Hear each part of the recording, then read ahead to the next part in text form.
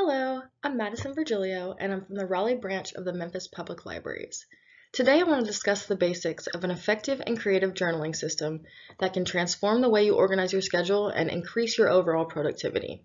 It's called bullet journaling, or Bujo, and it's a lot of fun. If you're currently working from home like I am, this is a great practice to get into now while you have some extra time. Stick around for a full rundown of the system, including tutorials and resources to help you in creating your very own bullet journal. Okay, so one thing I want to establish right off the bat is that bullet journaling is a system that's widely used by creative people in all kinds of ways. It was developed with customization in mind, and that's why it works so well. You can use what works for you and just ditch the rest. For me, uh, bullet journaling has been an amazing creative outlet. I'm an overthinker, um, I'm a note taker, and I'm a doodler, but I'm also admittedly horribly unorganized. I started bullet journaling in my freshman year in college, and before that, my life was covered in sticky notes. Now, all my sticky notes live in one place, as entries in the bullet journal. I use all kinds of media, uh, pencils, pens, markers, fine liners, uh, watercolor, whatever I can get my hands on. I think of all kinds of themes. I change my style from week to week, and I do mess up. A lot. But that's the beauty of it. It's yours, and it's there to help you. So let's jump right into the basics of the bullet journaling system. The method itself was developed by Ryder Carroll, a Brooklyn-based digital product designer and art director. And basically, he created this method as a solution to a struggle most of us can relate to, and that is keeping track of everything. Juggling work, school, and personal responsibilities and the innumerable tasks associated with them. It can be overwhelming. So, Ryder sought to develop a system flexible enough to handle whatever he threw at it and fast enough that it wouldn't get in the way. And that's exactly what bullet journaling is. It's an analog system that helps you track the past, organize the present, and plan for the future. You can also integrate components that will help you reflect on and improve healthy habits, such as recording your daily exercise minutes or creating an illustrative spread that tracks the books you read. There's also a massive online community of social media users and bloggers that focus specifically on bullet journal inspiration, instruction, and ideas. Pinterest is my personal go-to, and there are more references than you can possibly imagine. The way that you create your bullet journal is totally up to you, and you can be as creative as you want to be, but one thing is certain. If you use this system consistently, it will force you to be accountable in ways that will improve your overall productivity, focus, and time management. So, because this is a system, there are a few guidelines. Now, we're going to avoid any terminology that suggests you follow any kind of rules, because again, this is your bullet journal. So, these are just some guidelines, and I'm sharing them to help give you a little direction as you get started. So first, let's discuss what is referred to as the language of bullet journaling. It's called rapid logging, and it's a great way of capturing information as bulleted lists. Be it for note-taking or journaling, many studies identify the benefits of writing by hand. That said, it takes time and it can be unorganized. So rapid logging allows us to enjoy the benefits of handwriting while avoiding the shortcomings. So think about it like this. We've all hastily scribbled important information on the back of a crumpled receipt stuffed it in a back pocket, and lost it to the void.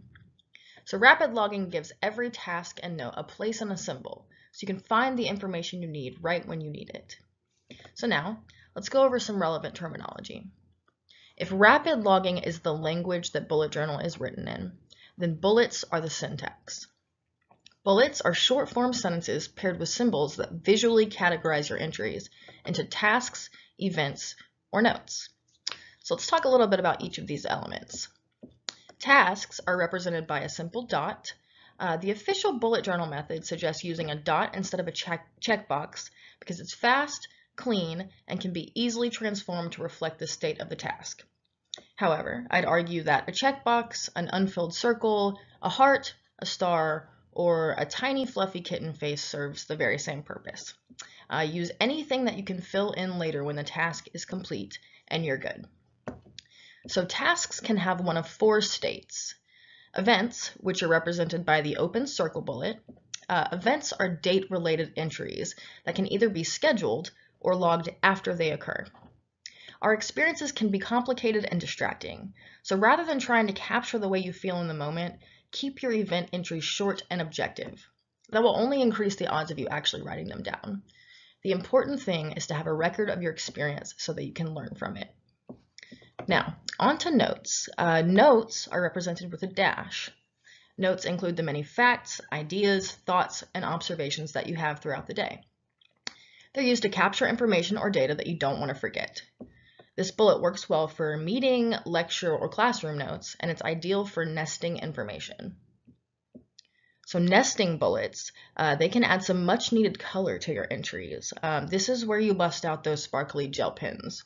Um, for example, you can nest notes under an event to capture the important details, um, or nest subtasks under the main task to break things down into a series of steps. And definitely do it in lime green if you're feeling lime green. Um, and be sure to use signifiers. Uh, the idea here is that we want to readily, readily find the information we're looking for. Signifiers are symbols that give your ent entries additional context at a glance. So they're placed to the left of the bullet so they stick out, making them easy to spot when scanning your pages. I like to follow the bullet journal method suggestion here. Um, I use an asterisk for uh, priority and an exclamation point to signify inspiration and ideas. But feel free to come up with your own. Um, this is all adaptable, as is everything in the bullet journal method. So that is a quick rundown of the bullet journal language. And remember, these are just guidelines. You should combine, mix, and match these elements to create a system that works for you. Tasks, events, and notes will help you quickly capture your thoughts as they bubble up throughout the day. And you can log them however you want, as long as it's cohesive, consistent, and clear. Don't worry about logging them in any particular order, because the important thing is just to get them out of your head and onto the page. All right, so now we've got the language down. Let's go ahead and discuss some of the major sectional components of the bullet journal. The next few slides will show you how to set up your bullet journal with structure and organization in mind. Your index, for example, will act as your bullet journal's table of contents. The index lives at the front of your notebook and it serves to locate content in your bullet journal. Simply add the topics of your collections and the page numbers to the index so you can quickly find them later. Most of my collections are titled by the month or the week that they pertain to, uh, but you can create all kinds of collections. Some examples are chemistry notes on pages 40 through 60, um, workout routine on pages 5 and 6, and uh, recipes on pages 15 through 30. All right, so the first major collection listed in your index should be your future log. Uh, this collection is used to store data entries that will occur outside of the current month. Um, this includes both long-term and short-term goals. Plan your uh, future log for the next six months to a year. Anything beyond that can be overwhelming, and you may never achieve all of your goals at the same time. Life happens, and things that we can't control come up, uh, so six months to a year is a good manageable time frame. Compartmentalize your tasks and try to reserve your future log for goals that you can actively work towards over time. Immediate tasks and goals belong in your weekly or monthly spreads. Everything we task ourselves with is a potential experience. The future log serves as your time machine, allowing you to glimpse the outlines of the future you're actively working towards. Progress is so much easier to gauge when the evidence is right in front of you. Um, a good tip here is each month, review your future log and see if anything is ready to be migrated into the new monthly log. Okay, so the monthly log is a spread of facing pages that consists of a calendar and a task page. Uh, at the end of each month, you'll do a spread for the upcoming month. You can play with themes and illustrations here. Uh, for example, it's April now. I'll start May's spread around the 20th or so because I'm planning a full floral theme spread with all kinds of Mayflowers. Um, don't worry, I'll show you guys a few ideas for inspiration in the upcoming slides. Um, my suggestion here is uh, go with simple spreads that get the job done when you're first starting out. As you develop your own spin on the system, you can integrate more elements that are important to you and require monthly consistency. And as you progress, your spreads can and will become more elaborate and artistic. Right now, though, let's just focus on function. All right, so the monthly log consists of two equally important components. The calendar page for things with an associated specific date, um, and the task page for things that you need to get done before the month ends. The calendar page, um, this is a minimal calendar and it's designed to prevent a bird's eye view of the month. You can use it to schedule events and tasks, record events after they happen, or both. Entries here should be as short as possible, um, as this page is designed for reference only. This is where you'll record things like due dates, uh, work schedules, deadlines, and appointments. And then uh, we have the task page. The task page is designed to help you take a monthly mental inventory. What are the priorities this month? What remains undone from last month? What matters now? Get it off your mind and list it here.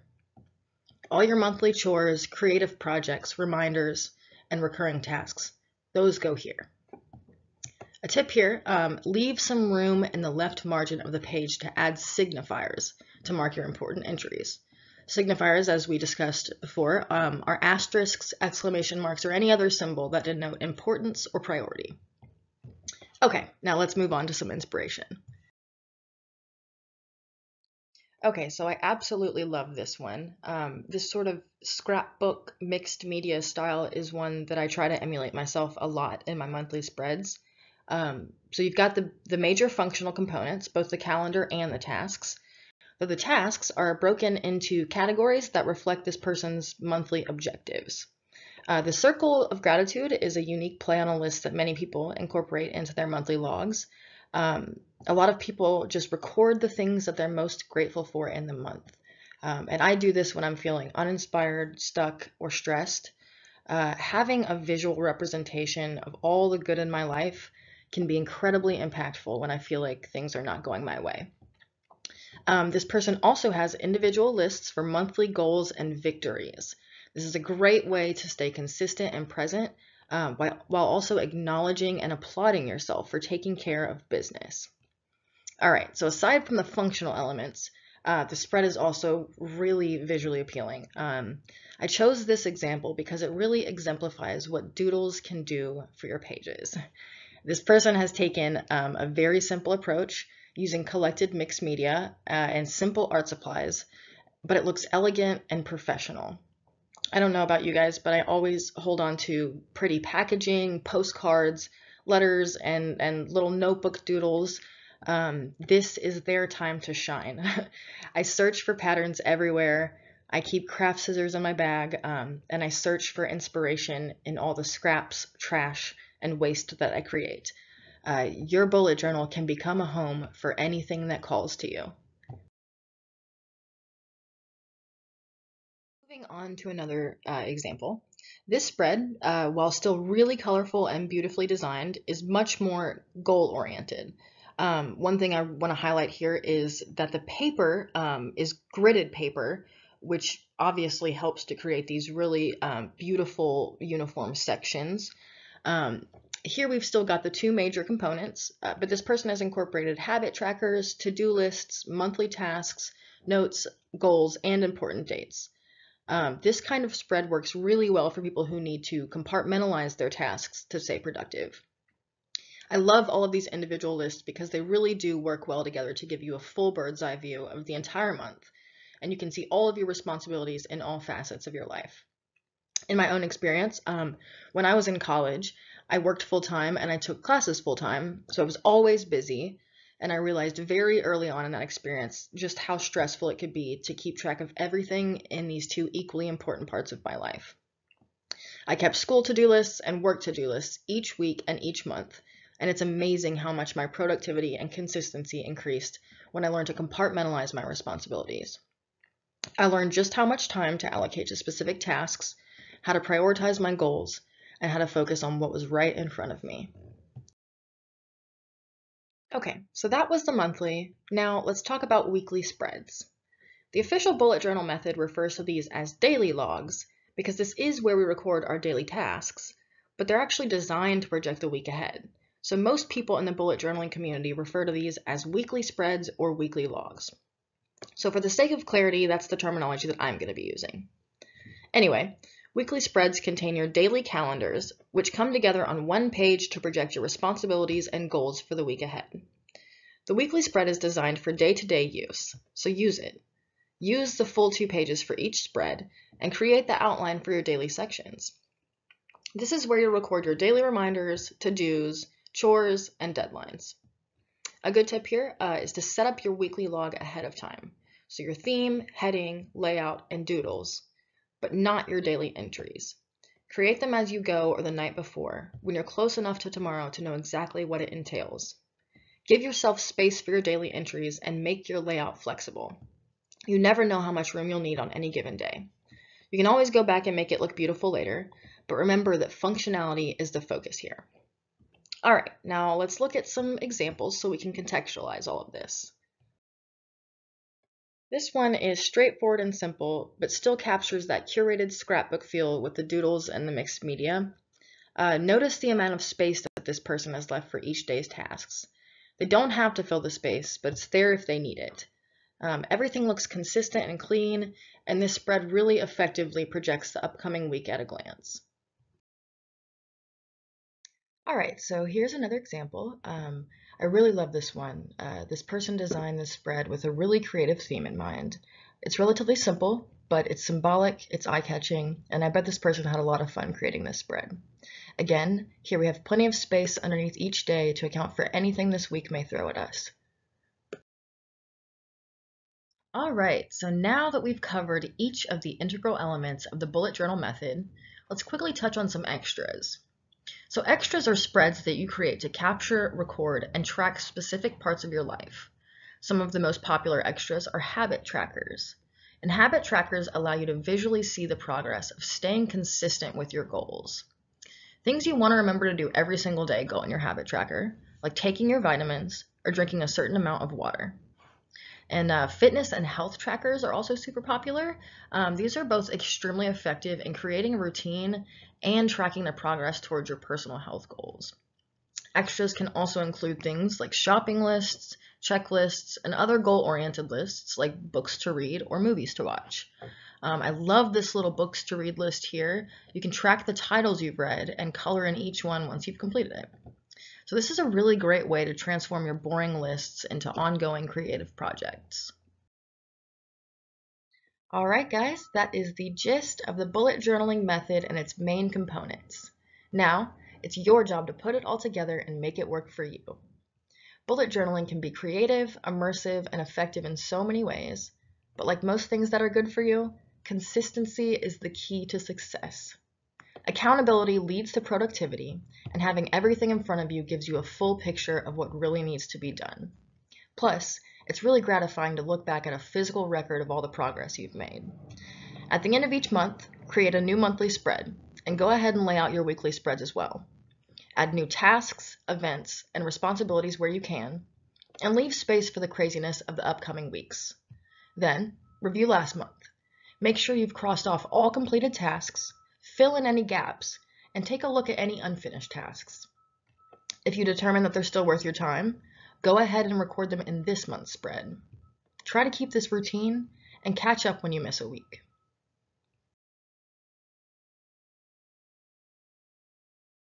So you officially have everything you need to get started. Now, you get to look for inspiration. Some of my favorite resources for bullet journaling are Pinterest and Instagram. Search keywords on Pinterest and tags on Instagram, and you'll find more reference material than you know what to do with. Bullet journaling blogs are also great resources, though they typically only showcase one individual's work. Some of my go-tos are Tiny Ray of Sunshine, Little Coffee Fox, Minimal Plan, and Compass and Ink. And of course, you can always reference bulletjournal.com for more information on the official bullet journaling method. Thank you all so much for starting here with Memphis Public Libraries.